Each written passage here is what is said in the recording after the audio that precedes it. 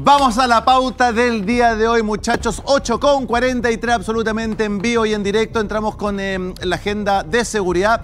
Declaraciones de la vocera de gobierno. Sí, la vocera que le mando un cariñoso saludo, está esperando guagua, así que que tenga un lindo embarazo. Ya, póngame las declaraciones, por favor, de la ministra. Quería preguntarle por el plan Calle Sin Violencia. ¿Este no está funcionando? ¿Cuál es la lectura que se realiza en torno a ese plan en particular? Y sobre el fast track legislativo, ¿a qué se debe la lentitud para tramitar esta agenda en materia de seguridad? ¿Hay proyectos priorizados? Mire, eh, el plan Calle Sin Violencia no solo ha funcionado, sino que su refuerzo ha tenido resultados en el corto plazo. Tenemos más de 1.700 carabineros y carabineras ya desplegados en las calles.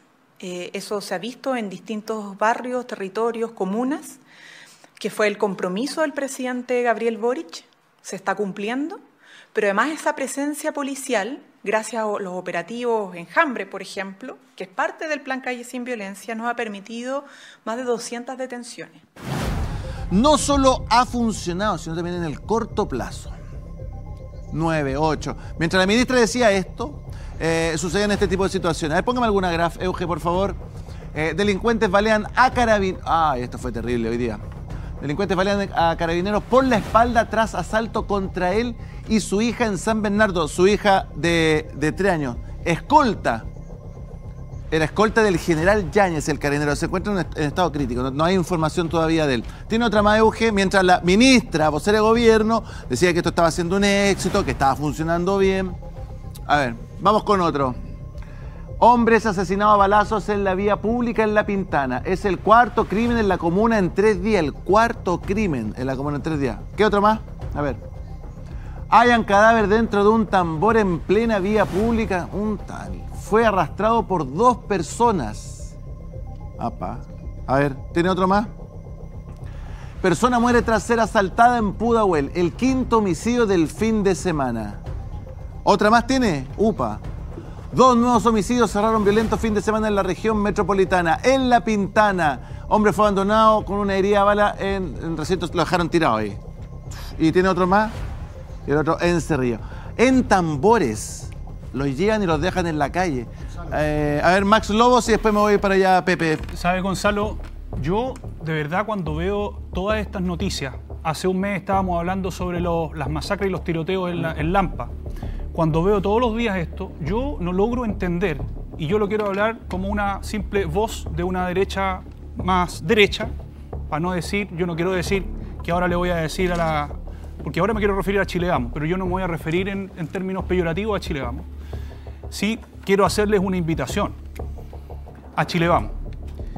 Sabemos que Gabriel Boric no va a, realizar y tomar las acciones correspondientes para darle seguridad a los chilenos. Lo sabemos. Sabemos que el Frente Amplio es condescendiente con los delincuentes. Sabemos el historial de cómo han votado todas las leyes de seguridad a lo largo de los años. Ahí estaba la señora Vallejo votando incluso eh, leyes de seguridad para darle, para darle mayor seguridad perdón, a, los bomberos, a los policías, le han negado la sal y el agua a los chilenos para brindar mayor seguridad. Por lo tanto, si sabemos, tenemos la claridad de que este gobierno es condescendiente con los delincuentes, el único llamado que queda es a Chile Vamos, a que ejerzan las acciones constitucionales, señores, en contra de la ministra Toá. Yo me hago la pregunta como un una voz de una derecha más, más, firme de por qué razón, y yo, yo quiero, quiero emplazar amistosamente a don Giovanni, que, que, pertenece a una, a una, derecha distinta. ¿Cómo es una derecha distinta? Una, porque hay dos, hay dos almas. Hay una derecha más conservadora, soberanista, que votó en contra el 17 de diciembre, que somos un 22% del electorado y nosotros nos sentimos despreciados. Eso yo lo quiero decir. El 22% de la derecha del, padrón total, que votó en contra el 17 de diciembre, nos sentimos muy desplazados, Gonzalo. Porque cuando nosotros hablamos con Chile Vamos... Yo voté en contra, de que con otro. Con otro, entonces, hablamos con otro. Pero usted, usted es muy cercano a la UDI. Sí. Cuando nosotros tratamos de hablar con la UDI, cuando, cuando tratamos de decirle y emplazar a Renovación Nacional, y decir, ¿por qué razón, Gonzalo, no acusan constitucionalmente a la ministra Toa? Yo de verdad jamás he encontrado una respuesta. Nunca he encontrado una respuesta. Entonces, aquí lo que corresponde, cuando tenemos la frontera abierta, amigo, cuando entran 300 personas por, la, por, por, la, por Colchane, cuando todavía tenemos terrorismo y se nos olvida ahí están los camiones quemándose hoy día. Cuando tenemos el narcotráfico en todo Chile, yo de verdad, Gonzalo, eh, hago una invitación a la reflexión. A que por fin Chile Vamos diga, vamos a ejercer y nos vamos a poner las pilas y nos vamos a poner más duros. O si no, esto nos queda un año y medio de este calvario con Gabriel Boric. Y la verdad de las cosas es que eh, Chile Vamos no ha logrado tomar eh, nota de la debacle que sufrieron el 7 de mayo de manos de republicanos. Y si ellos no se ponen más firmes, esta debacle en las municipales va a ser mucho peor. Entonces, ahí está el llamado a los socios de Chile Vamos a que se pongan las pilas, se pongan el cinturón y le den firme Usted, a este lo que está diciendo, Max, con las acusaciones para preguntarte voy contigo, Pepe. ¿Usted, ¿Usted cree que va a haber una debacle hacia Chile Vamos? Yo creo que sí, yo creo que se va a repetir, yo creo que se va a repetir en gran medida eh, el perfil electoral que ocurrió el 7 de mayo. Recordemos que republicanos y junto con el Partido Social Cristiano triplicaron triplicaron a UDI, Renovación Nacional y Evópolis juntos. Y eso es porque Chile, porque Republicanos tenía un, te- una aproximación más firme en contra de este gobierno y se presentaba a la audiencia como eh, contrario a una Ya, nueva pero republicanos también tiene, tiene algo de responsabilidad del segundo proceso Sí, claro, constitucional. por po, supuesto, ¿no? y nosotros El no fracaso. estuvimos con ellos. Ya, a ver, Pepe Toro, Pepe ¿En materia de seguridad ha aprobado este gobierno? Eh, es, Es que, bien, mire, es bien hablemos de resultados. Hablemos de resultados. ¿Cuántas No han leyes en materia de seguridad ha aprobado este gobierno? No han tenido ningún resultado. ¿Cuántas leyes en Da materia lo de mismo seguridad las leyes. este Puede gobierno? tener 500 leyes, pero si usted no tiene resultados, ¿Cuántas señor, leyes en materia de no valen las leyes. 59. Aquí, lo que, aquí lo que 59. nosotros le exigimos a usted no sean, es tres que no sean, resultados. tres que no sean, que sean Bueno, mensaje de Gabriel. Boric. A ver, ver, que termine Pepe que termine voy parte. A ver. Estoy hablando de una realidad de un punto. Mac dijo que ninguna, no había, este Ah, gobierno no, no, había hecho nada. no, dije eso. Mac dije dijo que este gobierno no había hecho nada. no Yo le acabo eso. de decir, este gobierno, mira, y como uno entiende que la política leyes, se construye entre todos en conjunto con la oposición. Sí, señora, sí, señor. La oposición y el oficialismo han sacado adelante Resultados. 59 Hábleme de leyes en materia de ¿Y se seguridad. Esas 200? 59 leyes en materia de ¿Y seguridad. de qué le han servido? Han servido No, en hartas no le han cosas, servido ¿no? de nada, caballero. ¿Por qué? Porque están muriendo las Porque se- personas, hay sí. masacre, hay tiroteos. Vamos, analicemos hay- más. hay A ver, a ver, ilegales, muchachos, ¿de ordenemos qué un poquito. Max? Max, Max, deja que responda al. Max, deja que responda Pepe y vamos, una vamos de las pimponeando. noticias A ver. que estaba ahí en la pintana. Este, una persona que había sido... ¿En un eh, tambor? No solo la, antes del tambor, El la por la muerte espalda, acribillada con muchas balas, ¿no? Acribillada por un montón, Sí, sí. ¿no? 20 balas. Sí, sí.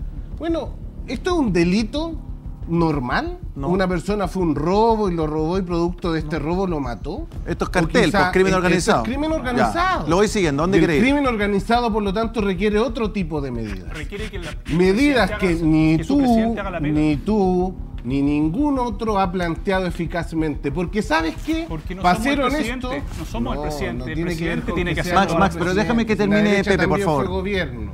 Ya, pero Pepe, pero Pepe, ahora espera un poquito. Yo te voy siguiendo. Pepe, pudieron- te voy siguiendo. pudieron resolver el problema de la seguridad. Espérate, Pepe. Entonces, no caigamos en la demagogia y entendamos que para tener medidas para combatir el crimen organizado requiere de otro tipo de medidas. ¿Y cuáles? Creemos una, opera- una mejor sistema de inteligencia. Más burocracia. Sí. Más burocracia. Mejor sistema de inteligencia. No, eso no es burocracia. Eso es estar a, la- a la altura de los países desarrollados. Sin inteligencia no se combate el narcotráfico. Señor, Sin su gobierno- inteligencia su no se acaba el crimen organizado. Negativamente, en- hay 40 mil millones de dólares que se, que se van en la, ley- en, la, en- en la dirección de presupuesto, en la DIPRES, y la mitad de, es- de esos 40 mil millones de dólares, antes el, el Banco Interamericano del Desarrollo hablaba que eran 5 mil millones de dólares. 5 mil millones de dólares en filtraciones. ¿Saben cuánto van las filtraciones, señor? Van en 20 mil millones de dólares. después- Entonces, después- cuando usted habla de... Cuando usted habla de, de- de- de una reforma tributaria que necesitamos, ¿sabe qué? no, Nosotros no, no, necesitamos no, rebajar los no, no, no, impuestos. no, nos vayamos para allá. No, hay que rebajar el No nos impuesto, vayamos de lo- que no nos vayamos de ese del artículo del Mercurio. A ver, ¿Con muteame qué un poquito, muteame. Ya, muteame. un poquito, ya. Está muteado Pepe Toro y está muteado Max. Está muteado. Eh, Max, está muteado. Pepe Toro está muteado, estamos absolutamente en vivo y en directo. Eh, Giovanni Calderón. ¿Qué artículo para combatir Pepe. el crimen Pepe, organizado? Pepe, la aguánteme, aguánteme. Pepe. Estado de excepción constitucional. Eh, artículo amarilla los dos, 38. amarilla Max y amarilla Pepe. Pepe, muchachos. mira, yo podría devolverte retóricamente, así como tú preguntaste cuántas leyes ha aprobado este gobierno, podría retóricamente decirte, bueno, si tú consideras que las 59 leyes aprobadas por este gobierno y la cárcel anunciada y todas las medidas anunciadas han mejorado en algo la situación, y la verdad es que no. Entonces, conversemos en serio sobre el tema de la delincuencia. Cuando tú dices, eh, eh, ustedes fueron gobierno, etcétera, no, no pudieron derrotar la delincuencia, obviamente la delincuencia va a seguir existiendo. Lo que pasa es que tu sector político abrió las puertas a lo que estamos viendo hoy día, a, con su negativa a esos mismos proyectos de ley en el periodo anterior. Hay un registro de cómo votaron el presidente de la República, la ministra Vallejo, distintos personeros de tu gobierno, las mismas leyes de seguridad. Entonces ahí está la pequeña diferencia. Pero mira, quiero hacerme cargo de un par de cosas más. Primero lo que dice eh, Maximiliano sobre eh, Chile Vamos y Republicano. Yo comparto la desazón de cierto sector de la ciudadanía, de, vo- voy a decirlo con todas sus letras, de los fachos pobres, ¿ah? de, de- de la gente que no tiene acceso a las élites políticas y que no estuvieron de acuerdo con el segundo proceso constituyente, que se sintieron pasados a llevar, etcétera. De hecho, yo voté en contra, no solo por eso, sino que voté en contra porque ese texto creaba nuevo 11, 11 nuevos organismos públicos. ¿ah? Y eso se supone que quienes somos de derecha somos eh, más liberales y partidarios de un Estado más pequeño. Pero en definitiva, eh, Max, yo quiero decirte que no va a haber tal debacle de Chile Vamos, a Chile Vamos le va a ir bien en la elección de, de alcalde, entre otras razones, porque hay un rechazo a la izquierda y al gobierno hoy día, y, y, eh, desgraciadamente Republicano lleva poco candidato a alcalde, sí le va a ir muy bien, sí le va a ir muy bien al Partido Republicano en concejales donde van a presentar candidatos en todo Chile, y ahí es donde se miden verdaderamente las fuerzas políticas y los proyectos políticos, y yo los Sí, felicito según por la eso. academia sería como un 17 republicano. Y por último, y por último, por último, lo que yo quería decir respecto de las declaraciones de la ministra Vallejo. Aquí lo que observamos es disonancia cognitiva. ¿Cómo es eso? Disonancia amigo? cognitiva. Pregunta, disculpa. Eh, Déjame terminar esto ¿Por y qué ahí. no acusan constitucionalmente a Carolina Toá? Porque no están los votos para aprobar la. la- ¿Y por qué no la sacan a la pizarra por último? Sáquenla a la pizarra. a ver, ¿qué te- O sea, mira, no tiene sentido. No tiene No tiene sentido, sentido, Giovanni. No tiene pero si tiene sentido sacarla no a la pizarra no y que se vaya a defender en el hemiciclo. Max. Que se vaya a defender en el hemiciclo. Max, no tiene sentido presentar acusaciones constitucionales que en definitiva son rechazadas Pero y tiene que, son, que salir a rendir y que son vistas como la- por la ciudadanía. Eso es otra institución, que es la interpelación. Eso Por último, al ¿por qué final es visto, es visto por la ciudadanía, una acusación constitucional rechazada, como un triunfo del gobierno. Es lo que ha pasado en las últimas seis oportunidades en que se ha hecho una acusación constitucional. Pero quiero terminar con la disonancia cognitiva de, eh, de, eh, Camila Vallejo. Camila Vallejo hay una realidad y ella ve una realidad diametralmente opuesta o declara una realidad diametralmente opuesta. Lo mismo que ocurre con el presidente. Entonces yo creo que es válido hacerse la siguiente pregunta y es, esto me gustaría que fuera materia de debate. ¿Qué es más grave? ¿Qué es más grave? Que la ministra Vallejo mienta a sabiendas, es decir, diga algo que realmente no es y ella sepa que no es, o que realmente crea lo que está diciendo. ¿Qué es más grave? A mí me parece que las dos situaciones son catastróficas. Mentira, Joan, para entender Que el punto. plan calle segura. No, lo que ha dado dice que no solo que no solo ha- que no solo ha- no solo ha funcionado, sino que también se han visto esto en el corto plazo. Y uno dice, ocho muertos el fin de semana, nueve, uno dice, no sé qué tanto ha funcionado. Porque te dicen, hay más carabineros, es lo que te dicen, pero no sabemos si realmente hay más carabineros, no lo vemos. Dejemos, ya, dejemos de dar la lata. O. Dejemos, de dar la lata en, en un buen término. Voy a, voy a tener harto ¿Por qué cuidado para que no se me enoje el panel del por qué frente. dice la lata? Pero dejemos la lata en el Va a hablar sen- una lata. No, ah, dejemos, la- la- dejemos de dar la lata en el sentido de lo que la gente está esperando de nosotros. Ah, pero mira, La mira, gente- mira, mira lo que dice Monsalve. Monsalve por la ola de, homicidios. En la región metropolitana no hemos logrado bajar la cantidad. Y, y- y la ministra dice otra cosa. Entonces mire, sí. ya estaba como descentralizada, ¿no? Estaba- Nosotros, nosotros estamos perdiendo la batalla contra el narco y el crimen organizado. Hoy día suceden asesinatos en prácticamente todas las comunas de Chile. Tenemos alcaldes que están con resguardo policial, tenemos concejales que han sido procesados por ley de delito de armas, tenemos autoridades. El nivel en el cual el crimen organizado y el narco se perpetuó y se infiltró en el Estado chileno, ninguno de nosotros podría determinarlo. Y yo creo que tenemos fehacientes dudas de cuál es el nivel de penetración que el narco ha entablado en el aparataje institucional chileno. Y yo creo que eso es bastante sólido entre los dos paneles, ¿ya? Pero la gente no espera que nosotros nos sentemos en el panel para pelear que tú lo hiciste mal, que mi gobierno lo hizo mejor, que cuando nosotros lleguemos somos unos iluminados y todo va a cambiar, porque si uno analiza las cifras, mire, el presidente Piñera estuvo hasta el año 2022, porque en marzo fue el cambio de gabinete al presidente Boric. El año 2018, 845 asesinatos cada 100.000 habitantes. 2018. 2019, 924. 2020, gobierno de Piñera, 1115 asesinatos. 2021, gobierno de Piñera, 906. 2022, año compartido entre Piñera y Boric, 1322 asesinatos.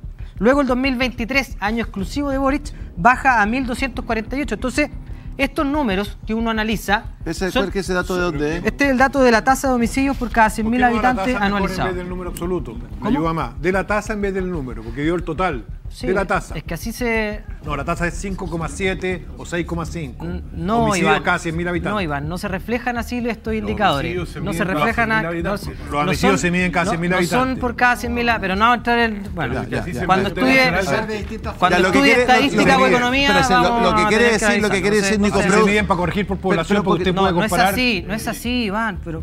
Ya, pero espera un poquitito, espera un poquitito. Ya, ya nos metemos en ese sistema de medición. Escuche, lo que, yo le quiero decir es lo siguiente, y justamente Iván me da un punto lo que busca nuevamente el enfrentamiento, cuando yo lo que estoy diciendo es que el país necesita una política de Estado que nos pongamos de acuerdo. Mire, ustedes, derecha, eh, derecha, derecha extrema, republicano, como quieran llamarse, izquierda, pónganse a disposición del presidente y del Parlamento para iniciar un fast track inmediatamente de políticas que nos lleven a la consecución de la baja de la tasa de homicidio. Pero cuando, cuando se ponen, escucha, Gonzalo. termino rápidamente con esto, cuando se ponen a disposición, pero es con, siempre con la, escúchame, siempre con la, con la, con el palito ahí de tirarlo encima, de decir que si las cosas no se hacen en mis términos, no se hacen, no vamos a llegar a ninguna parte, no vamos a A ver, llegar a espérate, eh, ninguna al parte. emparte y Lorca. Al emparte y Lorca. Mire, yo creo que cuando uno hace reiteradamente algo y ese algo no tiene los resultados que uno espera, lo lógico es que uno cambie las decisiones que uno tiene que tomar, que uno tome decisiones, ¿no? O sea, Esto no está si funcionando, yo sigo haciendo cosa. las cosas igual, probablemente, mire, si yo no voy a entrar en la discusión de cuándo partió esto, porque me, me parece que a la gente en la casa, cuando le hacen un portonazo, le da lo mismo. O sea, para la gente, todos los culpables, ¿ok? Entonces, yo creo que este tema es, hoy día el gobierno actual es un gobierno que tiene el deber, y Max lo leyó muy bien, el deber de conservar el orden público. Es el primer deber que jura el presidente de la República ante el Congreso Pleno. Entonces, cuando yo hago las cosas de la misma manera y siguen pasando las mismas cosas, quiere decir que estoy haciendo las cosas mal, ¿no? Entonces, hoy día, por ejemplo, la minuta de, Mons- de Paredes, eh, que la repitieron varios, ¿ah? la voy a citar, ¿ah? Estamos cansados de reuniones de, trabajo, que me parece fantástico lo que dijo Paulina Bodanovich hoy día. Pero a reglón seguido, ella agrega eh, que es el presidente quien debe liderar la institucionalidad de combate al crimen organizado. Pero si eso está en la Constitución, Paulina. No es necesario. El presidente tiene todas las atribuciones y facultades Ah, pero el tiro va para para, hacerlo. el tiro va para otro lado. Está bien, pero lo, pero lo que quiero decir es que a mí me parece que aquí hay un problema más de fondo, Gonzalo. Lo que pasa es que, a ver, seamos, seamos claros, seamos, seamos, digamos las cosas por su nombre. El Frente Amplio, y aquí yo voy a separar, porque Pepe dijo una cosa que tiene razón. ¿Cómo se ha votado en el Congreso, tanto en este gobierno como en el anterior? Leyes de seguridad, Pepe tiene un punto a que yo concuerdo con él, que es que tanto el socialismo democrático, lo que se llamaba la concertación, el centro, la derecha, siempre ha votado a favor de las leyes que, o mayoritariamente a favor de las leyes que tienen que ver con materias de seguridad. Ha sido permanentemente, tanto en el gobierno pasado como en este gobierno, el Frente Amplio y el Partido Comunista quienes han votado de una forma distinta. Entonces, cuando yo miro el listado del año 22 y uno mira las leyes, varias de ellas aprobadas, por ejemplo, eh, delito que sanciona la alteración a la paz pública. Proyecto fue votado en contra por Boric, Vallejo, Jackson. Eh, Boric, eh, por ejemplo, aquí tengo 20, 20 leyes que todas, todas, y se las podría leer una por una, fueron votadas en contra y dice persistentemente Boric, Jackson y Vallejo. Y eso no incluye Ya, pero, otros ministros. pero ellos cambiaron el speech. Dijeron ya hicimos esto, bien. nos equivocamos, el Llegaron al gobierno. Yo, yo en, eso, en eso concuerdo con usted, Gonzalo. Pero, por ejemplo, ha habido una serie de posibles acuerdos en el, del Congreso, particularmente del presidente y el vicepresidente del Senado, Matías Walker y José García Rumino, que han ido ya dos veces, y varios hemos ido varias veces a la moneda a hablar con la ministra eh, Carolina Toá, y siempre comprometemos algún cronograma. Y el cronograma no se cumple. Mira, aquí tengo el último cronograma, que fue hace como tres meses atrás. En el mes de junio se tenía que despachar la ley del Ministerio de Seguridad Pública y la de reincidencia. Ninguna de las dos está despachada. En el mes de septiembre se tienen que despachar, de- despachar el Servicio Nacional de Acceso a la Justicia, que no está ni cerca, el de Seguridad Municipal, que no está ni cerca, la Ley de Inteligencia, que no está ni cerca, porque digamos que esa sí que no está cerca, el fortalecimiento del Ministerio Público y el mejoramiento de la RUF. Ninguna está cerca de ser ley. Entonces, y además, para el mes de octubre está propuesto que se vote la nueva ley de inteligencia. O sea, perdón, la nueva ley antiterrorista, con todos los problemas que sabemos de la ley antiterrorista, que estamos todos de acuerdo que el tipo penal es pésimo. Tampoco está ni cerca de salir. Y realmente, señor, señora, la ley antiterrorista es cambiar dos comas. Entonces, cuando uno no cumple los cronogramas, cuando uno hace las cosas igual, cuando uno, como la posera de gobierno, eh, repite, repite y repite mentira, porque de verdad lo de Camila Vallejo ya es, mentira. O sea, Manuel Monsalve sale a desmentirla. Pues, si, si ya no podemos parar los delitos, dice.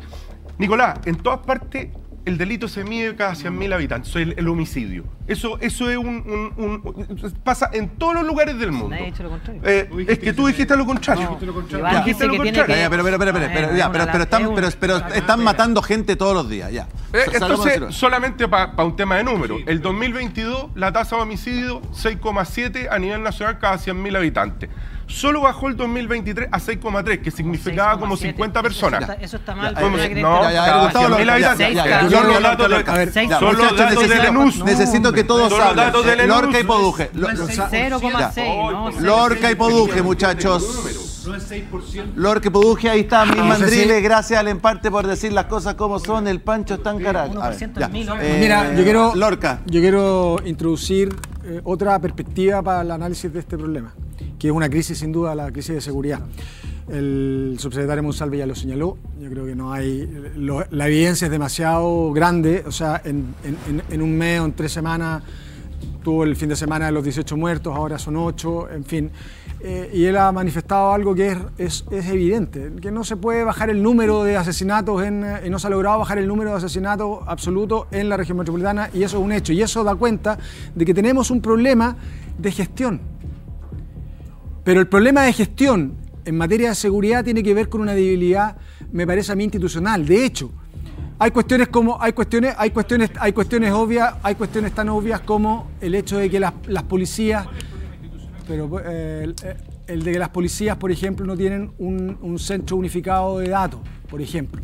O señales como que un funcionario de gobierno, una abogada funcionaria de gobierno no va a una audiencia de discusión de una medida el pistolero. el pistolero de la reina. Pero también la misma señal de un, eh, del diputado Coloma de la UDI, eh, de Melipilla, que tiene a un, a, a un exalcalde, un, a un candidato a alcalde, digamos, por Melipilla, que tuvo un problema y un proceso por eh, control de armas. Entonces, al final, las autoridades de todos los sectores tienen que dar las señales correctas. Y a mí me parece que aquí el gran problema que tenemos es que cada sector trata de sacar una ventaja pequeña de un tema que es mucho más complejo y como lo decía Pepe Toro, es un problema que viene desde años. Recordemos por favor las palabras del presidente eh, Pi- eh, Piñera en su primer Gustavo, gobierno cuando dijo que en Gustavo, 20 pero, minutos Gustavo, iba a resolver los problemas que en 20 no años... aparecía- se- Pero espérate, Gustavo, pero no aparecían adentro un tambor, un pedazo No, de muslo, un es brazo, que- una cabeza en una bolsa. Go- Gonzalo, es que estamos de acuerdo.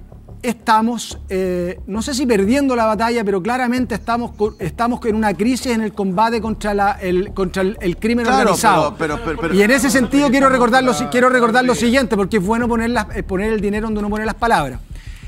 Este gobierno se tuvo que hacer cargo de, las de las deficiencias materiales de carabineros, por ejemplo. Ustedes mismos rompieron el estallido. ¿Puedo decirle algo? Ya, perdón. Es que, Gonzalo, discúlpeme. No, no, no, si es verdad que ustedes se reventaron cuánto radio patrulla y comisaría. No se, haga- no se hagan eso. Pero. ¿quiénes son ustedes? Ahora, ahora me refiero a la- al, al gobierno, a la izquierda octubrista. Pero, Pero quisiera decir lo siguiente, perdone. Pero no hay ninguna evidencia respecto Yo- de eso. bueno, bueno, eh, Iván. sí, ah, las imágenes por Lorca. No, no, no. Oiga, pero pregúntenle a la gente. pre- que fue el sector Ah, político. bueno, ya. Oiga, Lord, eh, si puedo explicar, espéreme un poco, por favor. Lo que pasa, ¿sabe cuál es el problema central acá? eh, como dice señor Lobo, no es un problema de legislación, institucionalidad. El problema es un problema de debilidad.